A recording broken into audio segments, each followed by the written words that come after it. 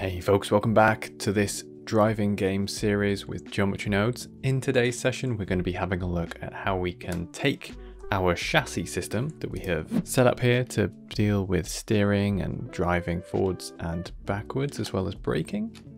So that's all nicely set up for our movement mechanics. Let's actually put a vehicle on it. Right now we've had cones, but it'd be nice if we had some actual wheels and a vehicle. And fortunately, I have actually made one. So you can just go ahead and grab the resources file, the truck resource file from the, uh, the link down below. It's all free and you can start working with me.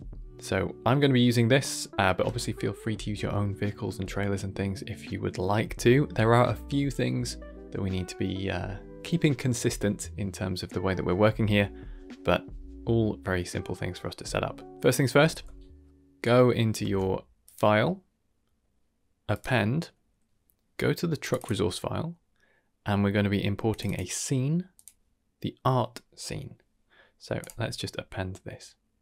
So nothing has changed in our main scene here. Nothing that we're working on has been polluted or anything like that. What I've just done is I have appended this new scene in the top right hand corner here. So if you go up to your scene drop down, jump into the art scene, and you can see that we've got in here the truck. So why have I done this in a different scene? Well, it can be convenient to have certain clutter. Like in this case, we have an art scene. So this is all of our like truck, trailer, tow hitch, everything that we want in terms of the meshes. And maybe we want a little bit of a, a playground here to be able to model stuff and play with things. That can be separated from our actual game scene. Uh, if you're used to working with real game engines like Unity and Unreal, then you'll be familiar with setting up different scenes for different environments throughout your game. So similar kind of idea here. Let's just walk through some of the things that you need to bear in mind if you are setting up the same thing for your own custom models. If we think about how we set up the chassis, it was a spline where the front axle and the rear axle were defined, but nothing else. We are going to be instancing our meshes on the front point. So you can sort of imagine that the place that we want to be on the origin in our collection here is going to be the front axle and then just horizontally backwards so the rear axle also is on that z equals zero uh, uh, position. Now I've just done this with a bit of kit bashing with some Markom 3D kit bashing stuff. Uh, so I'll link that down in the description as well if you want that kit bashing set from his Gumroad. Fantastic stuff. But because we're dealing with a collection instance, as we build this up, we can put whatever we want in this collection. So if you want to add area lights or spotlights or anything like that, then you can do. So I've added actual headlights on here. The wheels are a bit special as well. So obviously make sure you've modeled it to whatever size you want. Front axle goes on 000 and rear axle wherever you want behind it. If we have a look at our wheels, the way that I've set this up is to be offset in the direction of the side that you're looking at here, and we can just mirror them for the other side. And just interesting if you're if you're working with geometry nodes or if you're working with making wheels and you're not sure how to do it, a nice way of working here. Um, let's just break this down for you. So the hub is just a simple model, which has been um, uh, this was a screw modifier, but I have actually since applied it. So just using a screw modifier on a profile there. The studs here, this is geometry nodes just to array them in a circle. But the tread is where things probably get a little bit more interesting for people. This is how you can set up quite an easy uh, wheel system. So let's go back to the beginning here. So I just modeled a simple section like this. This could also be mirrored if you wanted to, but I did mine asymmetrically. I'm using a geometry nodes to create a cube and then use that as a boolean cutter just so that I can trim off those edges. I'm welding things just in case they get too close and I can just play with that as I go if I wanted to change the tread pattern. Arraying it in a line and then I've used this curve on a, uh, on a real Bezier curve to make it circular. I then cast it towards a sphere. So the cast modifier lets you go towards a sphere if you wanted to. This is what I did here, just to give it that roundness, just because we're going for this kind of lunar transporter build. Then a simple solidify and a bevel to give me that tighter edges. and the tyre itself is basically just a torus that I've stretched. So that gives me that baseline, and then adding it all together gives me a nice little wheel. Something super important to deal with here is that the radius of your wheel should be pretty much one meter. And the reason that we're doing that is because when we defined the wheel radius on our chassis, that is what is going to control the size of these wheels. So we want to make sure that this has a value of 1 so that when we scale it to the chassis value, it is correct for the chassis. So that is really important.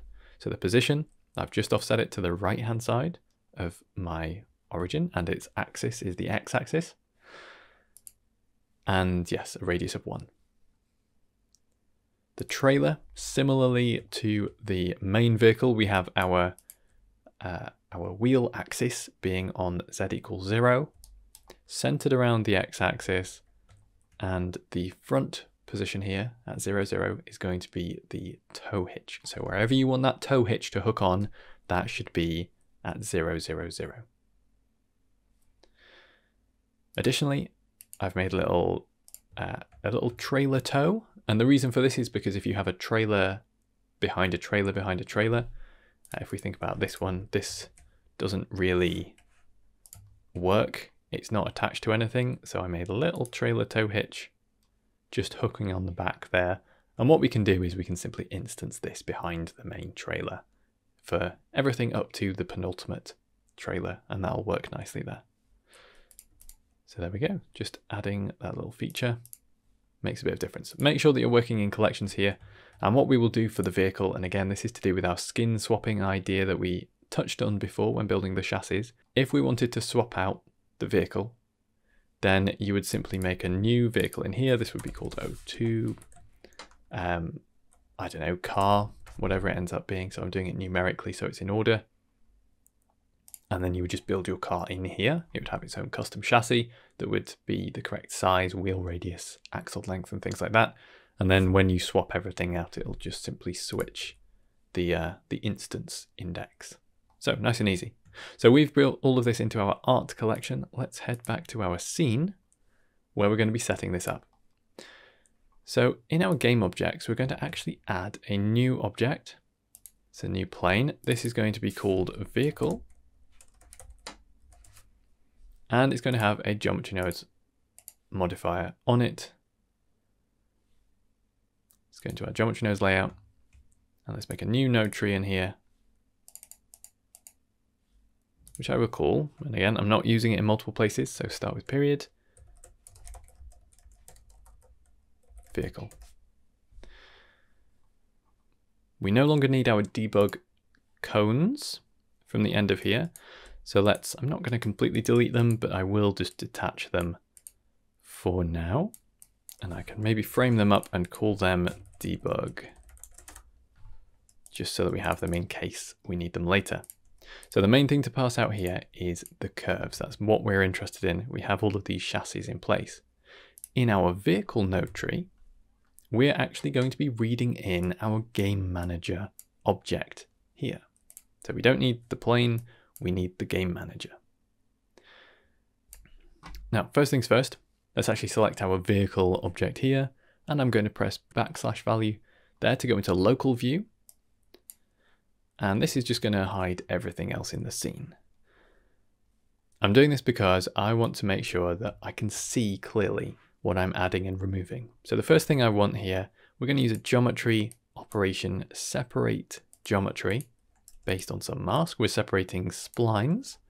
And to begin with, let's use the named attribute trailer. There we go. So now I have my cab and my trailers separately. Now, the next thing that we're going to do is we're going to make a new node group. So let's add a reroute, control G, tab back out. This is going to be called period. Again, I want to keep it out of that list and I will call it body. So tab in here we're going to be having a uh, chassis on the input and the output is going to be an instance of the different pieces of the vehicle. So I'm actually going to set this up as a node group so I can use the same thing for the cab as for the trailer, as for the tow hitch offset there. So it's very simple for us to set up. We're bringing our chassis in here.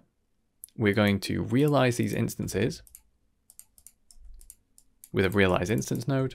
We are then going to instance on those points. And we just need a collection for our instances. So collection info. And we will plug from the group input into that collection. Set this to pick instance and set your collection info to separate and reset there. Okay, let's tab back out here. We need to select the collection that we're after. So in this first instance, we're dealing with trailers. So let's add the trailer collection. The inverted one, which is going to be just the cab, this is going to take the vehicle. And let's just join these together. There we go. Awesome, that's looking actually pretty close. So let's go back into our body collection.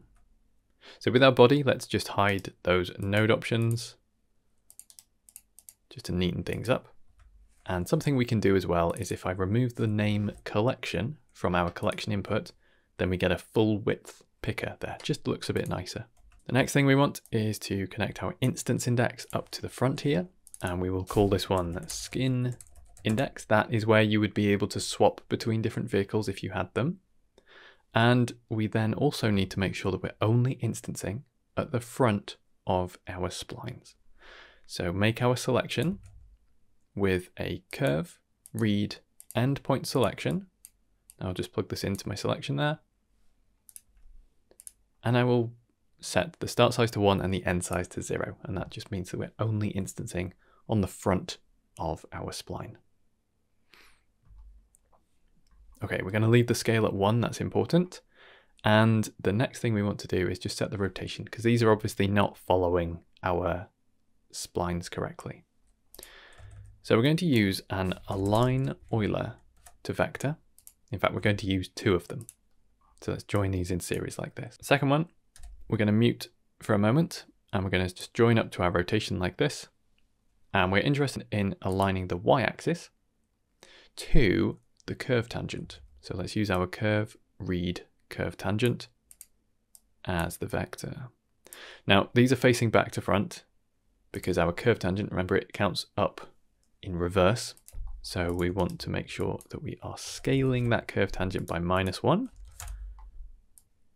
And now our vehicle is correct. It's all facing forwards. Looks fantastic. A little bit cramped up, but we can fix that with our chassis specifications later. Now the other part of this is actually going to be aligning the z-axis while we lock the y-axis because we've already computed that.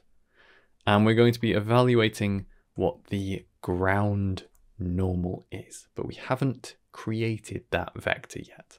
So when we start sampling the ground for collisions, we will create that at that point. So for now, let's mute the align to vector and we will come back to it. So here we go. This is our nice little setup here. We're aligning to the curve tangent and instancing the correct piece of the trailer.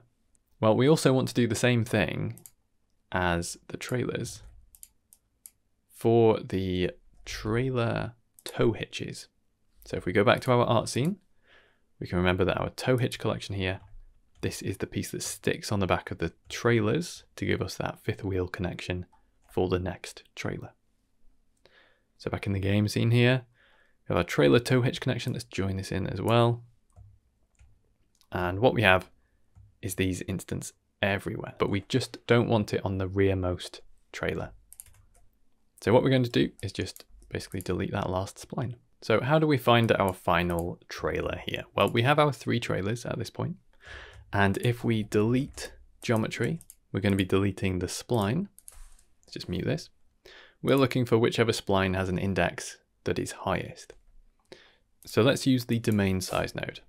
This is a fantastic node, very powerful, and it just lets us find the simple size of different things. So for example, if I check my spline count, you can see that we have three spline counts on there. If I check my point count, we have six. So three spline counts. Now the spline that I want to delete has an index of two. So if I take three subtract 1 and then I find where the index is equal to that value, and then use this to delete that spline, then you can see that we just remove that final spline from the calculation there. So fairly straightforward there. This is uh, subtract one just because indices start at zero and obviously counting starts at one. So that's why there's that difference there. And then we can simply use this as our trailer tow hitch geometry instead. So now we don't have that tow hitch on the back. We're still going to need to sort out our wheels. But before we get there, let's just deal with our cab and trailer chassis. So let's come in here. I've selected my cab chassis. Let's increase our chassis length. And we just need to go back to the first frame just to make sure that we have this as something that we can modify just because of our caching. And I'm just going to bring this back until we sit nicely in the middle of that tow hitch position. And that's great. And then for our trailer chassis, again, we're just going to increase the chassis length just back until we sat in the middle of that tow hitch. There we go. Now this would really be a little bit too close. We're going to clip through in reality, but you can always modify this how you see fit. Next thing to do, sort out the wheels. This is actually going to be started in the game manager. Now the reason I'm doing it inside the game manager rather than uh, inside my vehicle section is just because this is analytical, this first step. We're going to be solving the suspension and then separately in the vehicle object, we're going to be instancing wheels. So at this point, we're actually just working out where the wheels can go. So after our geometry, create a reroute, control G, tab out. This one is going to be period because we don't need it twice. Solve underscore suspension. Right click, show hide node options. There we go. Tab in here, and this is going to be chassis in and wheel positions out. There we go. So first things first, let's just in our solve suspension, let's add a new store named attribute. We'll call this one wheels. It is going to be a boolean on the point domain and it's going to be turned on. Let's tab back out and I'm actually just going to add a geometry join geometry so that I'm bringing those chassis across as well as the wheel positions. Back in our vehicle, back at the beginning here, we're actually going to use another separate geometry. This time we're looking for the wheels boolean and the inverted result. So whatever is not wheels is going to go down to the thing that we just set up. And whatever is wheels, this, if I just set up a reroute here, this is going to be where we instance wheels. To begin with, let's just set up a simple way to look at this. So instance on points. These are the points. The instance is going to be a collection, just how we did before. Separate and reset children. Wheel collection here. Pick instances. And remember that we said that the wheel radius was going to be controlled by the chassis. So we can control our scale here with the named attribute. Wheel radius. There we go. And then this can come along, join in with our join geometry there. And there we have it. Let's put this into a group here, control G. And we're just going to connect over that instance index as well, just so that we can swap out that skin index if we want to. Okay, so right now we have these little wheels over here and they're not really doing anything. So let's rename this group that we just made, period, wheels. So back into the game manager, let's sort out our positions. If I go into my local view here, just so that I'm only looking at the result of my viewer node now, I want to be able to create two sets of splines, one on each side. We can do this by duplicating the elements. So geometry, operations, duplicate elements. If we come into here and we duplicate the splines twice, so now I have two times as many splines. I now need to know whether I'm going to be moving things left or right. And we can do this actually based on the duplicate index. So I will have one set that has a zero and another set that has a one attached to it. Let's come in here with a geometry right set position. And now I can, you can see offset these left or right. How do we work out the direction that we're going to go in? Well, it's based on the curve tangent. And we need to find the perpendicular angle of the curve tangent, the ground normal, and this is then going to be the resulting vector. So we want to know what this is. So we have the curve tangent. Let's use a vector math node set to cross product and for now, let's just set this to be 0, 0, 1 because we don't have a ground normal yet. I'm going to cross product this. I'm going to normalize the result just to make sure that that is a length of 1. And then we can use this scaled to give us a direction. There we go. So now rather than just going left and right in the world space, we can go left and right according to the curve tangent. Doesn't matter which one goes which way, but we're going to use the duplicate index here, which is a 0 and 1 value, as a switch between negative and positive 1 and then this can just be multiplied into the scale. So I could just plug this in directly and there you go. Now we've got a an axle length of one meter in each side, so two meter axle length. But remember that we have that axle length value that we stored on the chassis. So we're going to grab a named attribute node in here, which is the axle length. And this is the whole axle length. We want to know what half of it is so that we can push in each direction. So let's multiply this by 0.5 and then we can multiply that output by this minus one, positive one switch. And let's plug this multiply into that scale. So now you can see, and I will just come into my cab chassis and I will change my axle length here. You can see that the cab chassis is now wider because I've set that cab chassis width being higher. So there we go, nice. This is all working perfectly. Let's come back to our game manager, back to that solve suspension group, and let's see what we can continue in here with. Now we're also going to need to know which side a wheel is on so that we can flip it.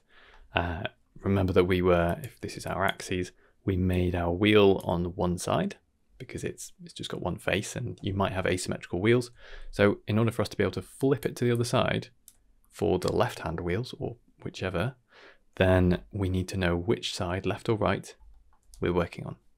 And we can simply do this with a store named attribute on here. Let's store on the point domain a new attribute called wheel underscore side. Keep it nice and descriptive. So I'm just going to be storing this again as that boolean. So let's store the boolean from that duplicate index, that 0 and 1, as the wheel side value. We're not really solving suspension at this point because we don't have any terrain to solve with. That'll come later, but for now, let's just continue as we are. So we've set the position of our wheel positions out left and right. There is one more thing that I need to include here though, and we will see it if we look at our vehicle. We have back wheels, that's fantastic, but we also have front wheels on our chassis. We do not want front wheels on the trailers. Works for the vehicle, doesn't work for the trailers. So I also need to come, grab my game manager, go into the solve suspension, and just at the end here, just before we store that named attribute, let's go ahead and delete geometry, any point that is a front. So let's grab an endpoint selection. We're going to delete any front wheels. There we go. But it must also be on a trailer. So we can't delete the front wheel of the vehicle because we need that. So if it is a front wheel and it is also the named attribute trailer, if it's both of these things, then it can be deleted. So the cab is not a trailer, so it will not be deleted there. Cinch that in there. Great stuff. All right, fantastic. So we have all of our wheel positions set up. At this point, we will do some more once we've got ground in here. But for now, let's go back into our wheels and let's sort some things out here. Let's go ahead and sort out some more of our rotational issues here because we can see that these are all just facing in the positive y-axis. They're not following the vehicle itself. So in our wheel group, on for our rotation, let's do an align Euler to vector. To begin with, the first thing we want is to align it to the named attribute. Our first one was the wheel radius. This one is going to be the wheel direction vector here, and we're aligning the y-axis to that. Now our wheels are a bit small, we can fix that in a moment. The next thing that we want to do is we want to actually rotate this Euler rotation. We're going to be rotating around the local x-axis. And what this allows us to do is rotate the wheel. Okay, so we can rotate this wheel now. We're going to be using another named attribute we need to make this one, but it will be called wheel rotation. It's going to be a float and it'll come into here. So the reason that we're setting this wheel rotation before we've actually made it is just because it's important to understand why we're setting these things up. Why are we building a wheel rotation? Well, it's so that we can actually control the wheel rotation based on where the vehicle is moving. And finally, the last thing for us to set up here is flipping the opposite side. So let's take our scale. We are going to be taking our wheel radius with a utility math math. Let's set this to multiply. And we need the wheel side attribute through a switch integer. Just keep it nice and simple here. And let's see. So these ones need to be minus one on this side and positive one on the other side. There we go. So now we have all of this. Fantastic. So this is pretty much where we want to be for our wheels at this point. There's going to be a couple more changes as we gain terrain, but for now this is exactly where we want to be. Let's go and check the chassis width, the chassis length, and the wheel size attributes for our chassis. So we'll come in here, Coming to the side, let's have a look at our wheel radius. Let's increase this until it looks about, about right. Should it be one? Maybe a bit smaller than one. Let's go down to 0.9, I think, for this. Probably seems fine. In fact, maybe it should be one. That's looking pretty good, actually. And let's increase our chassis length so that we have that back wheel in the correct location on here. And we are also going to be setting our axle lengths to be a bit lower so that we've got those wheels in the vehicle's wheel arches. There we go, fantastic, okay. Now it's sitting a bit low on the ground, but again, we're gonna fix that once we have the terrain, so don't worry. So wheels are in place. Let's fix our tow hitch offset on here. Now for our actual main cab, this is actually a negative value. There we go.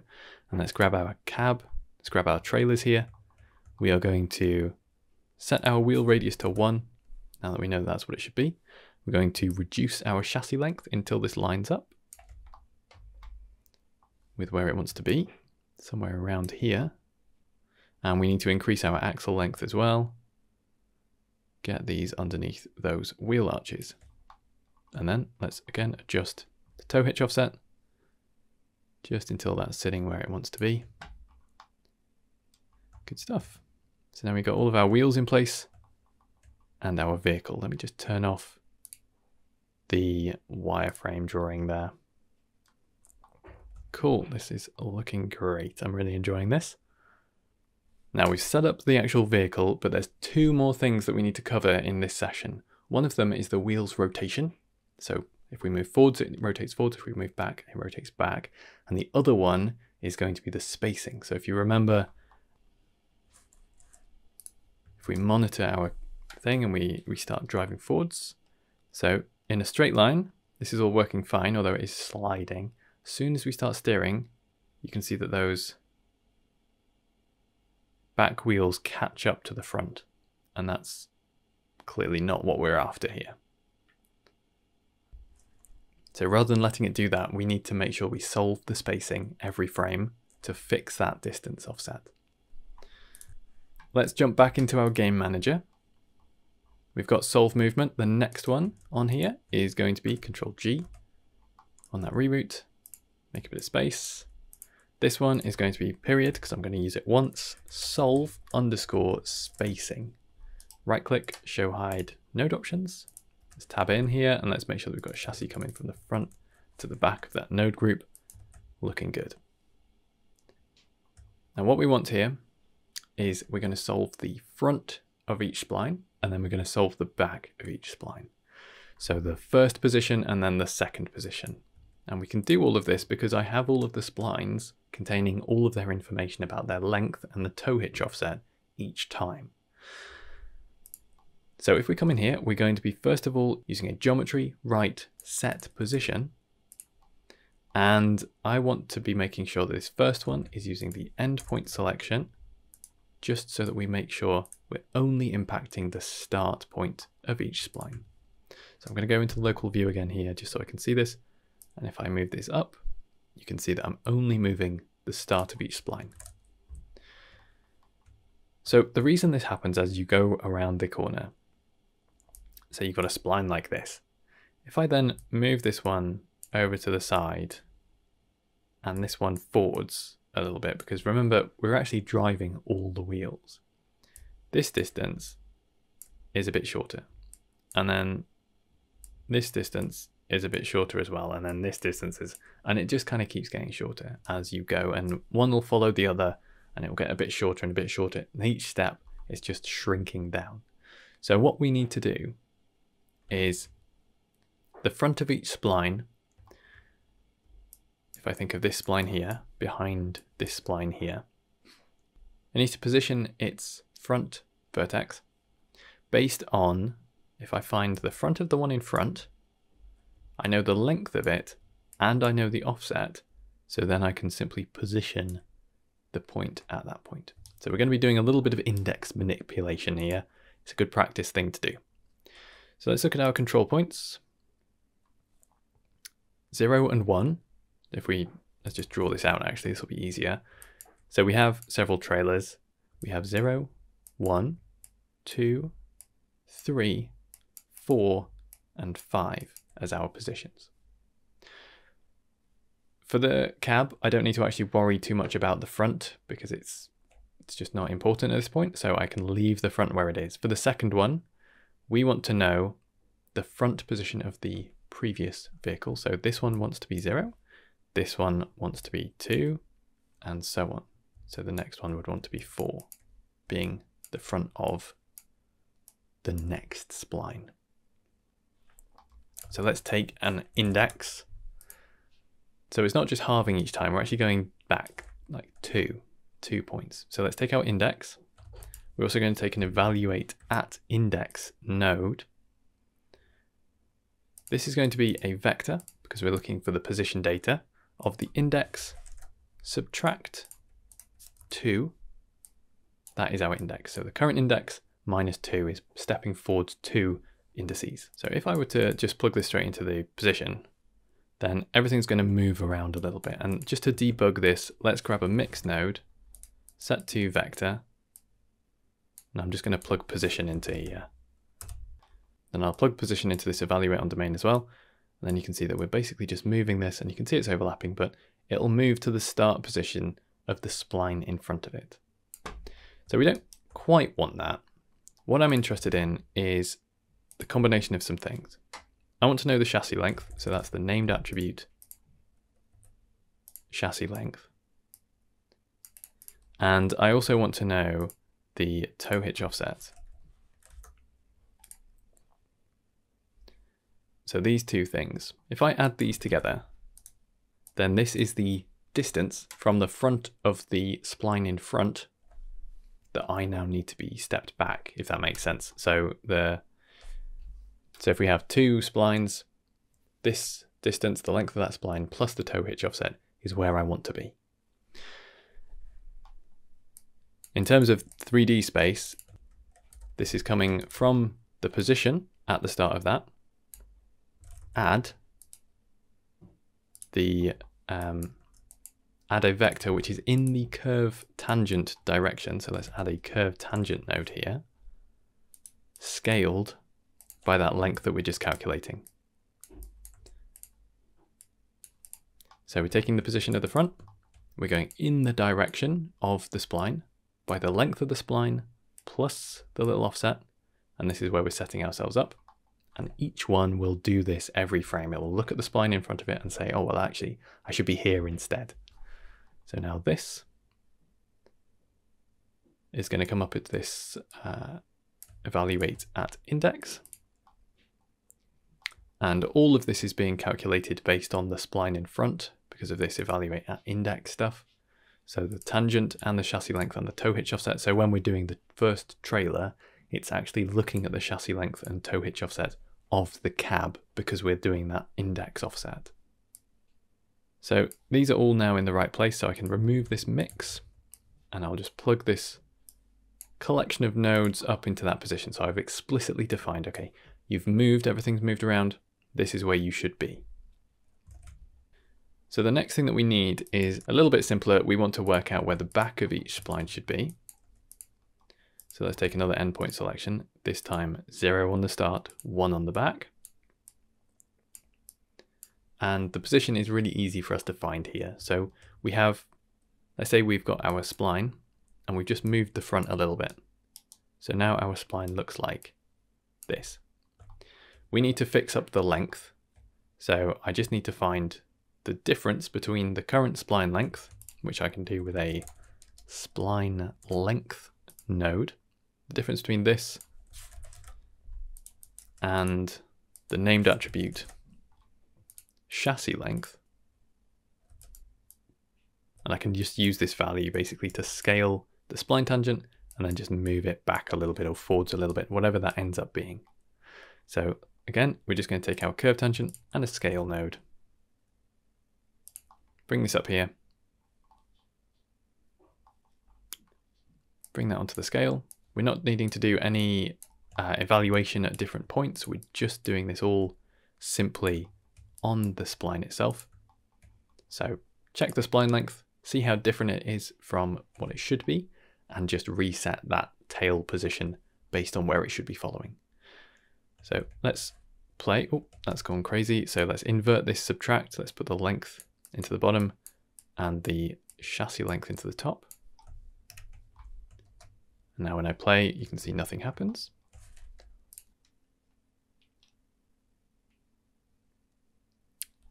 Ah, one thing that I've just done there actually is my front, my trailer is not able to move, which is kind of crunching everything up there, you can see. So my, my cab is not able to move just because we've done this evaluator index on all of these things. So I actually do not want this first one to be happening on um, on the cab. So I need it to be the start size and with a boolean math and when this is the named attribute trailer. So now you can see as I move these around, fantastic. That is actually a properly solved chain of trailers here. Good stuff. So if I come back here to the general view and I press play, you can see that we now actually move where we expect to. We can reverse and it will jackknife properly and things will go where we're going. Fantastic. Final thing for this session, we need to sort out the wheel rotation. Right now, everything slides. And we want to make sure that the wheels are rotating nicely and it feels like it's looking like it's driving. So let's tab back out. We're going to be making our final group here for today. Reroute, Control G, tab back out. This one is going to be period solve underscore wheel underscore rotation. Show hide node options, there we go. And again, let's tab in here, make sure we have chassis coming in and through. Always good to keep things neat as you work. The easiest way for us to work this out, if I go back, I've solved the movement and there will be other things as well, ground collisions, spacing, other object collisions. These are all going to happen before our wheel rotation. But something that we can do to make our lives easier is simply to store the named attribute start pos, as in start position, at the beginning of the loop before we do any of those transforms. And I'm simply going to store the position there.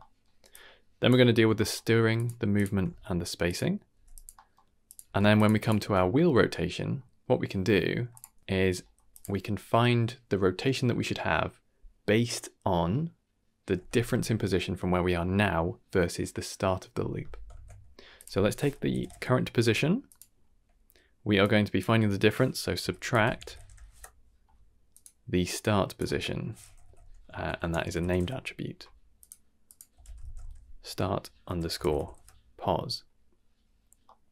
Now, I'm not interested in the vector there. I'm just interested in the length of that, so the distance traveled. And then we're going to be using this in some calculation to store the wheel rotation. Wheel underscore rotation. Here we go. So is just going to be a float value and we are using that simply to rotate the wheels here. There we go. So I just went back to the start frame just so I could demonstrate that without the cache coming in the problem, getting in the way. Now, because this is a loop and we're simply going to add each frame relative to the previous frame, what I want to do, just before I work out anything, any calculation, because I know this is a relative transform, I'm not saying, oh, it's got to be 1136 degrees. No, it just needs to be some amount further than the previous frame or less than the previous frame. So let's grab a named attribute for our wheel rotation. Just copy and paste that in there. And I will add our new calculated value to this. How do we work out how many degrees or radians specifically? How do we work out how far to rotate a wheel based on a distance traveled? Do you know the formula for working out the circumference of a circle? The formula is 2 pi r. Now, at least when I was at school, this was never really explained, but 2 pi is the same as 360 degrees, but in radians. So what we actually have here is the angle, theta, multiplied by the radius. So I want to know what the angle theta is, and that's going to equal the arc length, or I'll just call it L here. Okay, so I know what L is, because it's this, it's the distance traveled this loop. So what I can do is if I divide both sides by r, then I can cancel it out on this one side, and I'm left with theta is equal to L over r. I know what the radius is because I have a named attribute called wheel radius. And I can just use this. So I have the wheel radius, I have the length. If I divide the length by the wheel radius, this is going to give me the rotation that I need.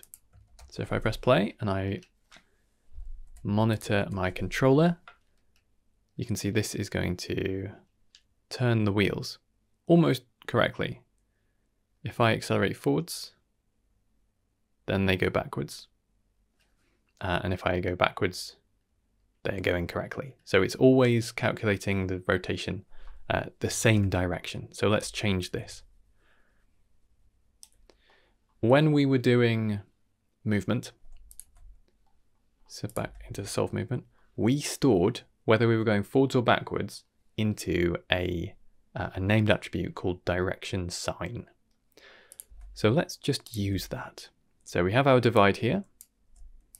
After the divide, we are going to multiply it by an attribute called dir sign, sign, direction sign.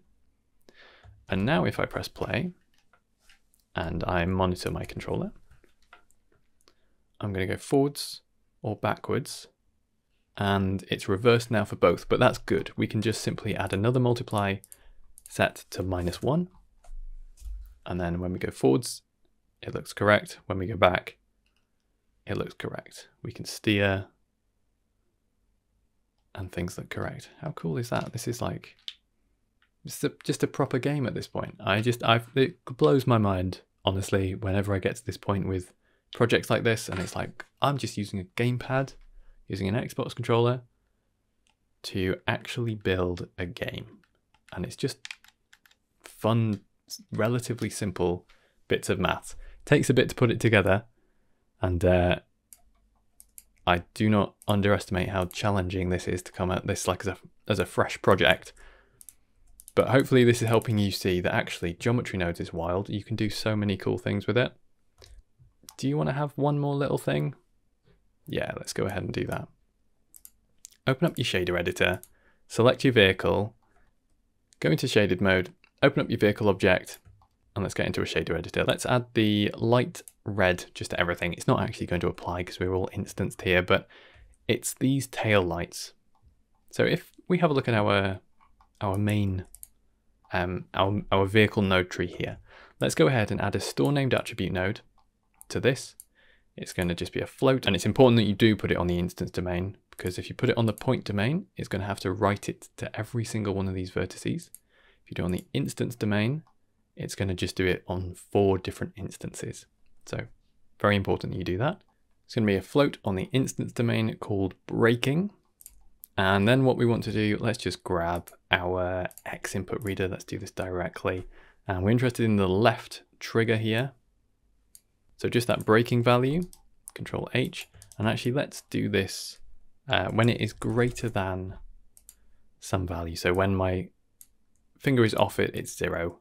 Uh, let's go greater than 0.05, something like that, just to give it a little bit of a wiggle room in there. And then in our shader, let's add an input attribute called braking. Plug this into our factor here. Let's go on off. Let's set this to instancer because these are the instances. And now, if we monitor, when I pull that trigger, the brake lights come on. So when I brake the vehicle, the brake lights come on. It's just so cool. There's so much you can do with this. I, uh, I'm going to stop here because it's been a long session already, but the vehicle is now set up. Join me in the next session where we're going to be building our terrain, our ground collisions, collisions with buildings. There's a ton of stuff that we need to cover there for collisions and solving for that kind of thing. I'll see you there.